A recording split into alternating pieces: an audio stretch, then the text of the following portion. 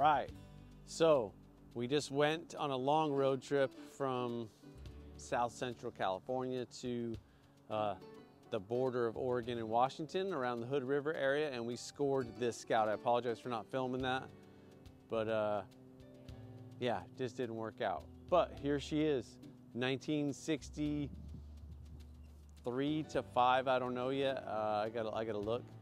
Um, but we're gonna see if we can get her running.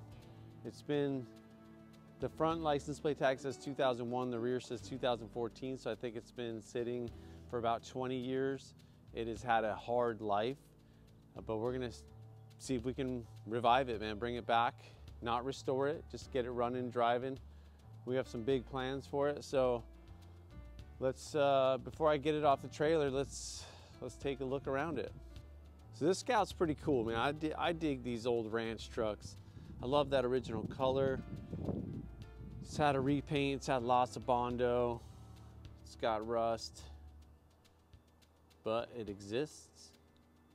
And it's got some cool features that uh, I'll show you some of my favorite things about this Scout. Number one, this rear bumper, super cool. It's like, I don't know, like a high-end farm fab. Tailgate is pretty sweet. I haven't even opened the back yet. Custom reverse lights, matching. As you know, Scout 80s didn't have reverse lights, so to put them up there, pretty creative. Lots of silicone. The top is, it's got this custom drip rail, which is pretty, pretty sweet. Oh, good, she's got doors. Roll up doors, they're probably hammered. We'll dig those out. It's got a PTO winch sitting in there. Definitely won't be using that. Custom lightweight headliner. It's got plywood on the rear floors with carpet. Some of the things that I like is it has a Dana 44 rear differential with a power lock. See that additional tag right there. Anytime you see this tag, it says the gear ratio, but this tag means it's got a um, a power lock differential which is pretty sweet. And uh, I'm just stoked it's got an offset 44. I've been looking for one of those. So it's kind of rusty, but it's not rot like super rotten. Sorry.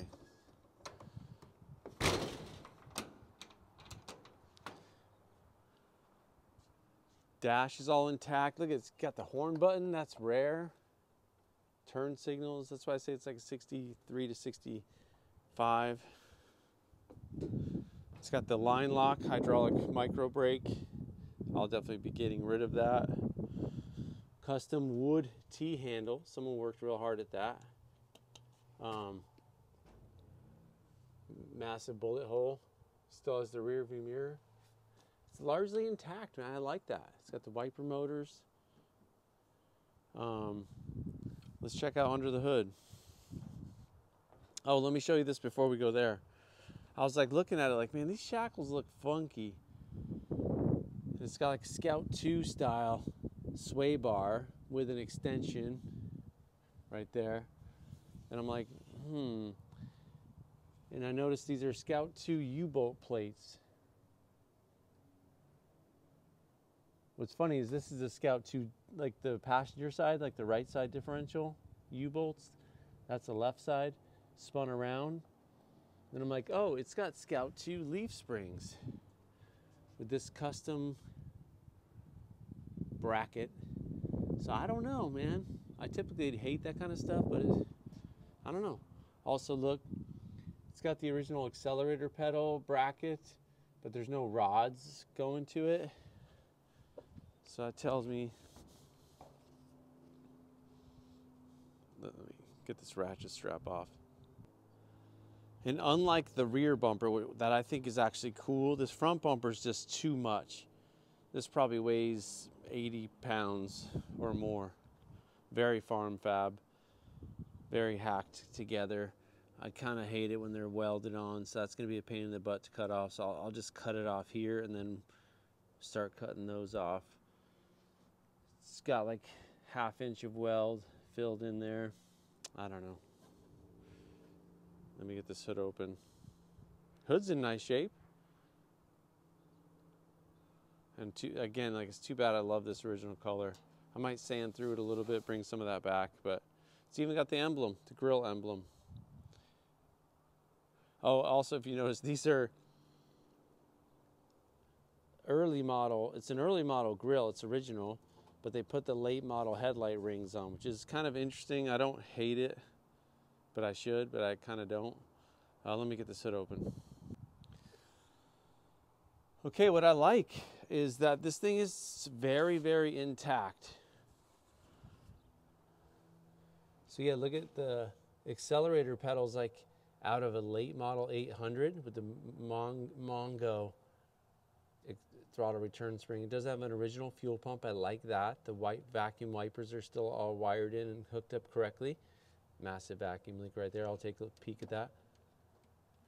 But the carburetor is not frozen. Tiniest air cleaner in the world. It spins over, which is cool. So I think she's gonna run. Um, the wiring is, you know, like it's it's not butchered. So I've seen worse. This fuel filter, like the A120, and I think those came out in the late 90, mid to late 90s. So we're gonna try to fire this baby up. I don't have a key, unfortunately, but neither does this. Still all hooked up, so I'm guessing I could just put a screwdriver in there. This might be like the ignition switch. Gauges are pretty nice. So let's uh let's see if we I'm gonna roll it off the trailer. And let's see if we can get this pup running. Also, notice this with me. Do you notice this is odd, you Scout 80 experts out there? Like this is supposed to extend all the way over to here like this. Let me show you. So this is a Scout 800, but similarly, this bottom heater plenum goes all the way over there.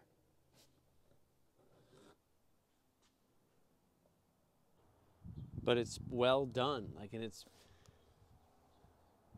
yeah. I don't know, man. This dash has definitely been painted. But I like this truck. It's, it's really growing on me. It does shift through the gears, but I noticed when I was loading it on the trailer that even with the transfer case levers in gear and it's got both drive shafts, it rolled. So I don't know what's up with that. But it does have a custom gas pedal that actually feels better than a stock 80 gas pedal. Clutch is frozen. Brakes are not frozen. I'm guessing these are off the ignition switch.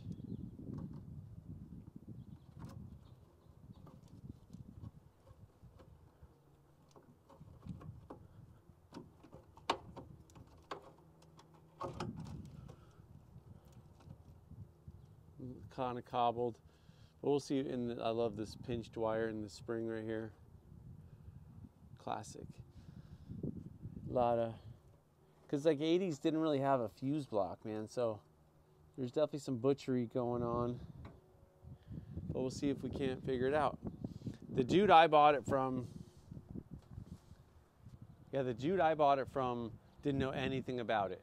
He bought it like three years ago, and um, he said, "I don't know."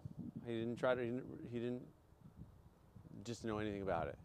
I don't know what the story was. So um, let's uh, get it off the trailer and get a battery and see if we can't spark it off. I'll check fluids and stuff like that.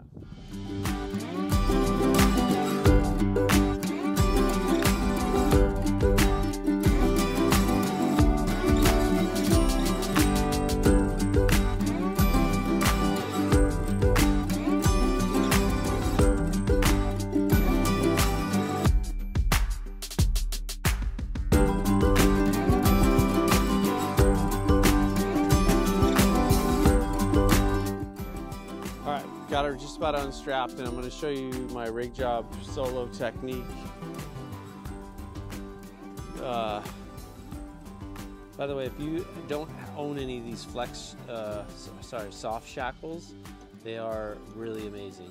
I know you can use uh, clevis mounts, but or clevises, but these are a lot safer. They're super strong, and they are just so handy. So I'm just gonna essentially use this as a friction slowing down device as I push the truck off because again I, I don't know if the transmission works and I know I don't know if the brakes work. And I don't want to hit my precious red carpet tub over here. So this is another scout that I'm building for a big activity in next June.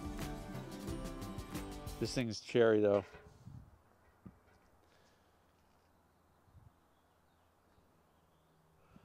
And I know it appears to be, uh, was it red? Was it blue? Was it white? I think this is a red carpet special. That's what all the uh, indicators tell me from it and the parts that came with it.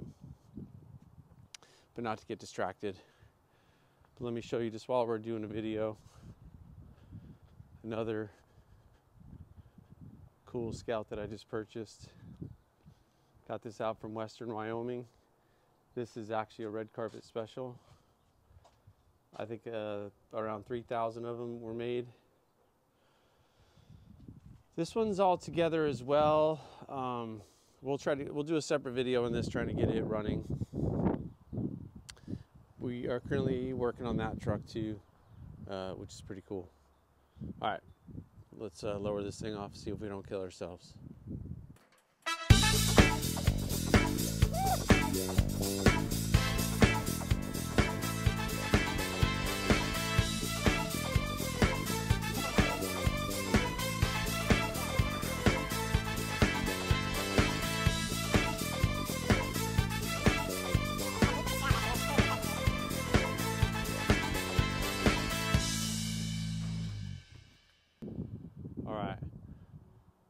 So slap the battery in here. I, let's check the oil.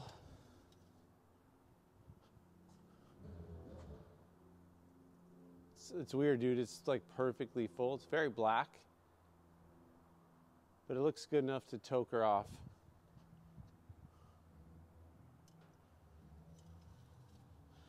Yeah, I can't figure out the ignition system, so we'll see about that. No way. Look at this.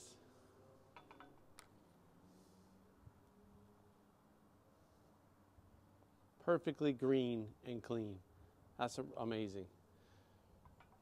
I mean, who knows? Maybe it was started, because look at the condition of that. That's mint condition.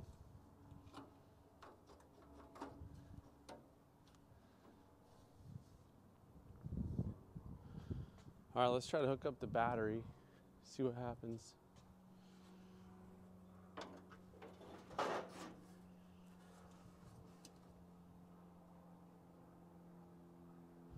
I might just vice grip this.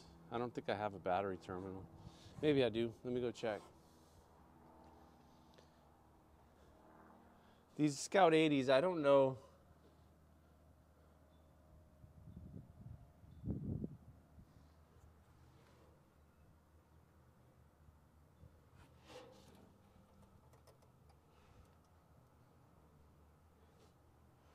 Just trying to look at some of the wiring.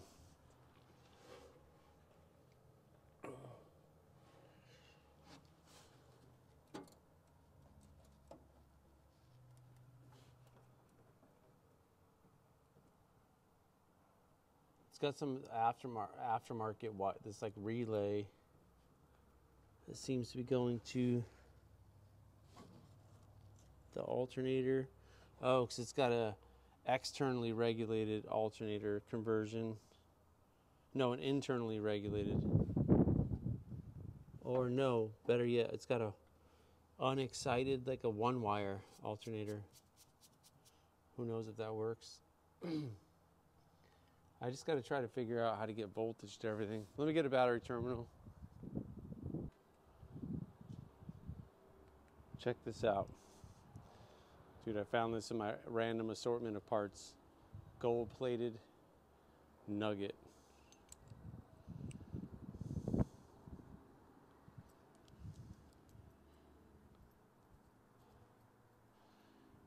Never know, man. I probably found this in the back of some scout somewhere. That's why you gotta save stuff.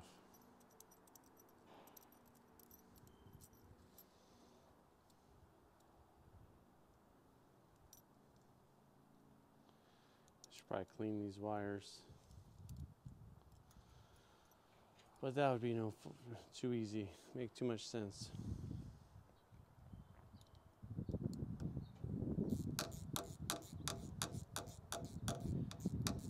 So when you buy a vehicle like this, I know like a lot of times revival videos like they'll drive them and stuff, but I feel like it's mostly either A for just like will it start and that's valuable. But this particular truck is going to get driven on a very long journey. And I want it to be kind of become a a truck that my eye or someone can just have it look all rugged but but drive it around and start living in it again. So, but what that means, it means that it's going to require a lot of work. This engine, I believe, was rebuilt in 1977.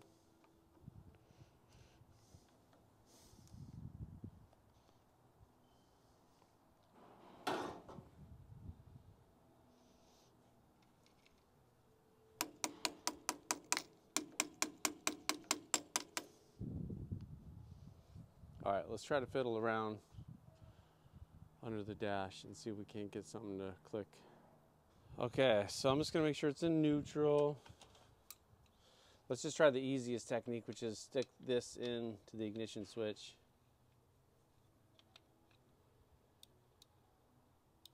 Nothing.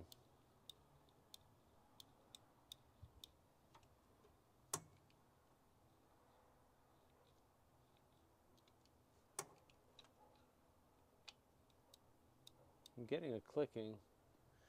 I don't see any kind of push button. That's the horn. Horn works, a miracle. Let me see if the headlights work. Nope.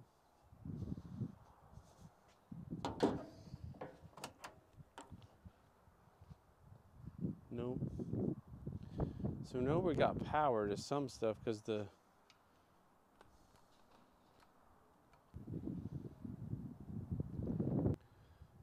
Okay, so I've been horsing around. I got I figured out the horn works, the headlights work on a random switch. I can't get the mo. I got the points to get power, but I cannot get the starter to crank. So I'm going to hook up the remote starter switch and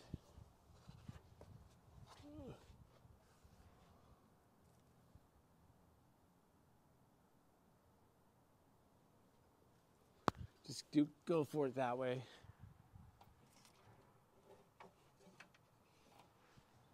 Starters are kind of tight on these scouts.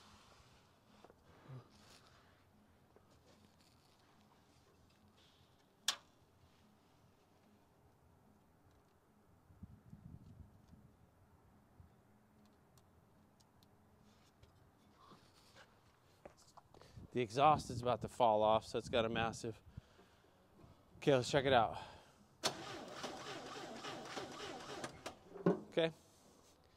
Let me check power at the coil.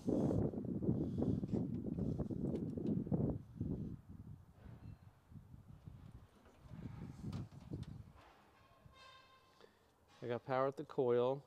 Have no idea if I'm getting spark, but let's just go for the really easy, lazy way.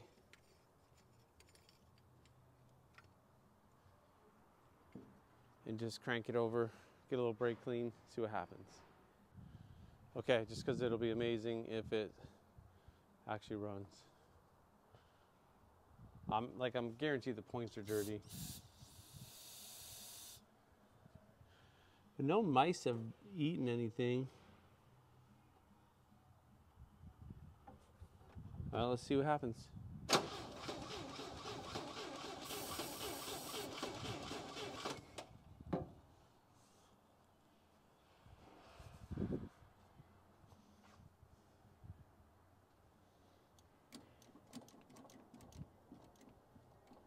Let me.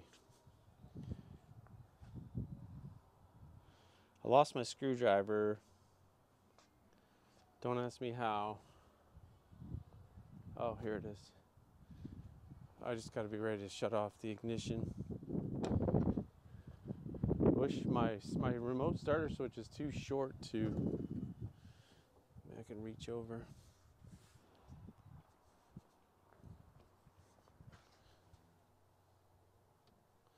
Get some down the yap.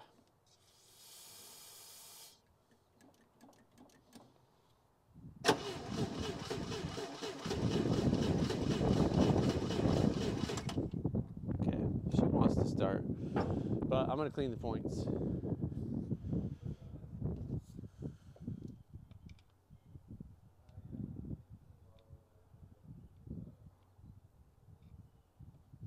I just turned the key off and it is the key's working. Um, all right, let me get some sandpaper and I'll show you how to clean the points. So to file these points, essentially, I'll try to get a better close up.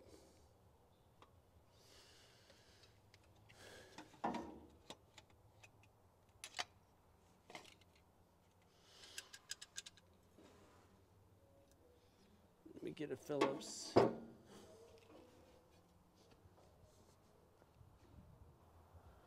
Okay, so now I'm going to take, and everything looks pretty good. And I apologize for the bad camera angle. It's just hard to hold. I can't do this with one hand.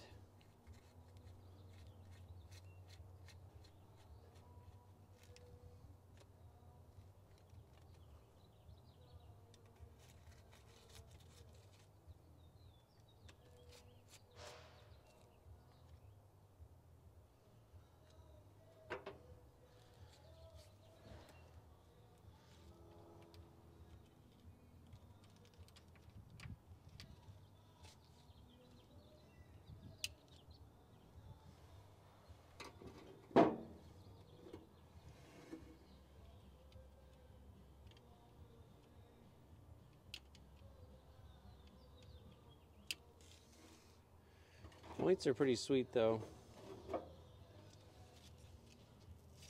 So I'm just taking the, the sandpaper. This is 220.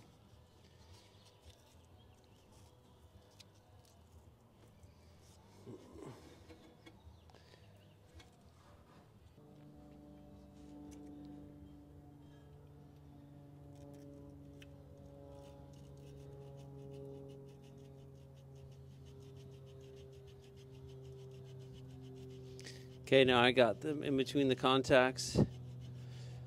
Just filing back and forth.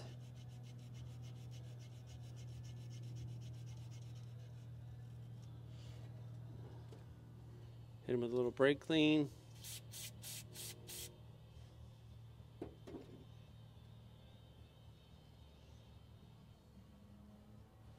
Okay, so here's the, this is like a, a Delco style distributor, which is kind of nice, has this little window you actually can adjust the points on that big screw right there through that window, which is kind of convenient. So the points contacts are right there. And let's bump the motor.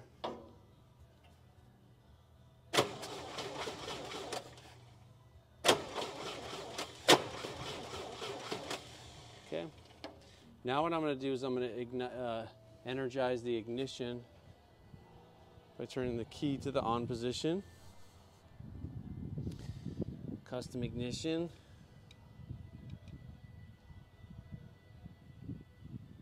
Hold on, let me, I can't do this with one hand, sorry.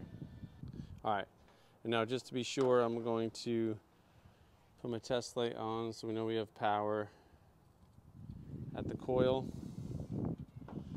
Then if we take our screwdriver,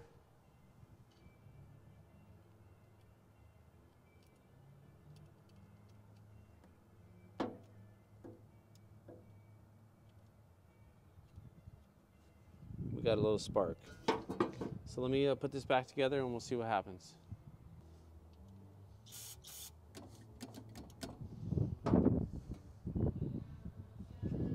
Okay, we're still recording. Sorry about that. I was getting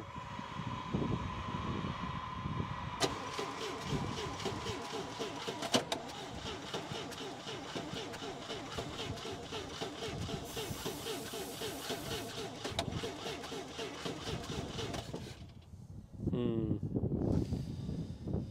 Yeah, 'cause we got power, barely, but it should be.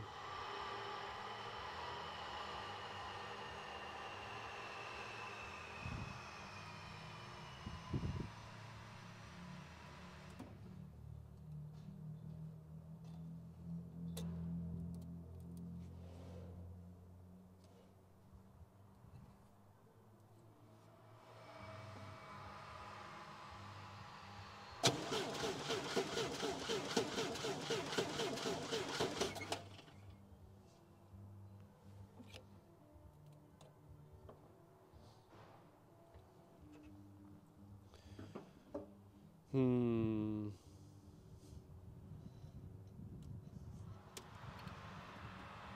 Let me pull a plug out and see if we're getting spark.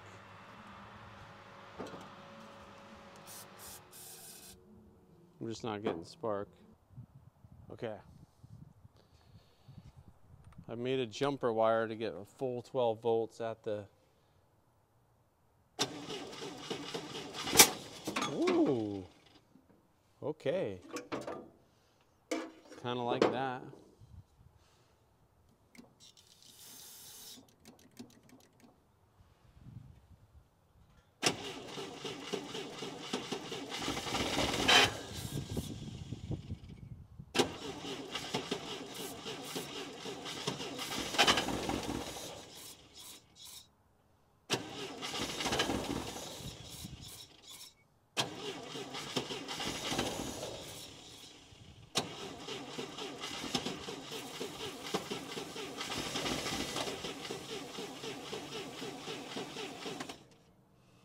All right, well, that's good news.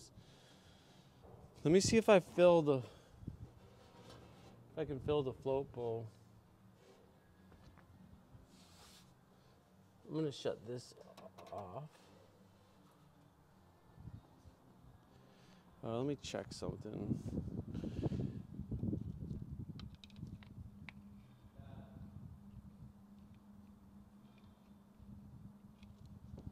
Okay, hold on. Let me let me just check this.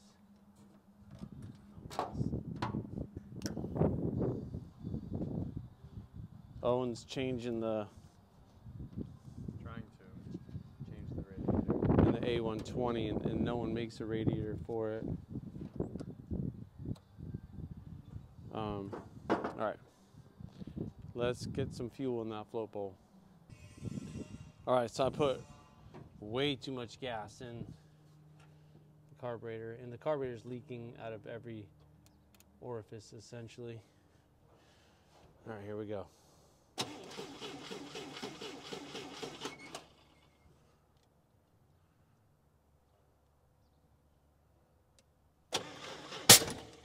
Woo!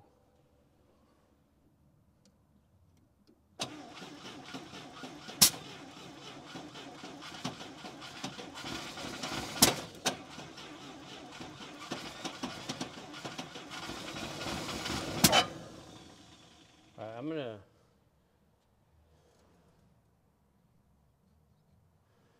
I know we got a couple vacuum leaks. Let me get a couple vacuum caps and. I got a couple vacuum caps. Let's see what happens.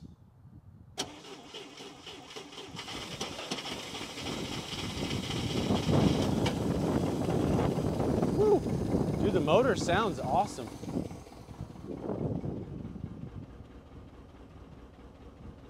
It's got 45 pounds of oil pressure.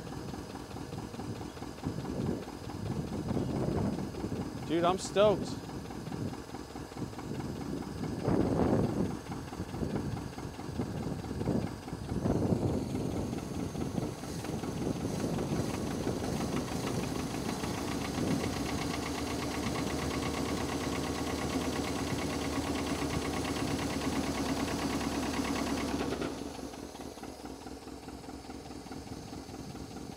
And again, it had coolant and it has good oil pressure. It's hovering right around 50 pounds, which is incredible.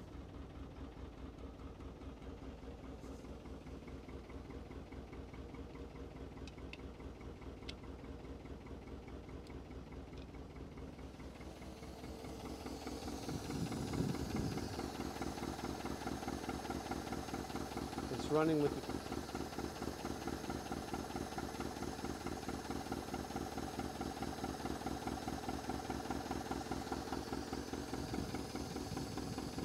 And I'm just maintaining fuel pressure with uh, the bulb here on my hand, this thing. So I'm bypassing the pump. And I knew it had an exhaust leak, but it, the motor sounds pretty darn good. I know I don't have a clutch, so I think the next thing I'll do is I'll fix the clutch.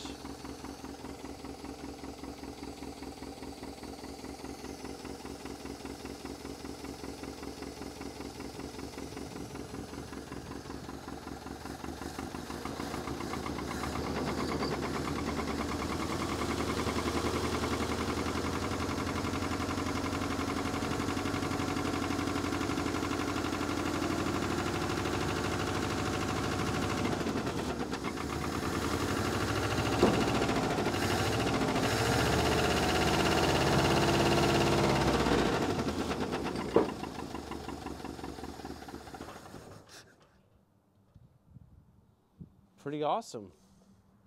I mean, at least I know the motor runs and it's got oil pressure. So that tells me a lot about the ways I want to potentially invest in this Scout. Uh, it was really weak.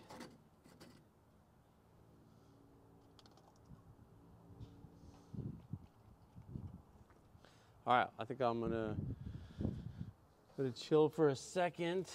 I'm gonna, so now I think what I'm gonna do is get the fuel system working correctly so that, get the fuel system working correctly, then the ignition, see, it doesn't seem like all the cylinders are firing. So I think I might just go ahead and, I really like Pertronix, so I might just put a Pertronix in it. Um, and, that, and then and do a cap rotor plugs and wires. Now that we know it runs, and I'll change the oil. Um, so yeah, cool. That's pretty awesome. I'll start. I started it.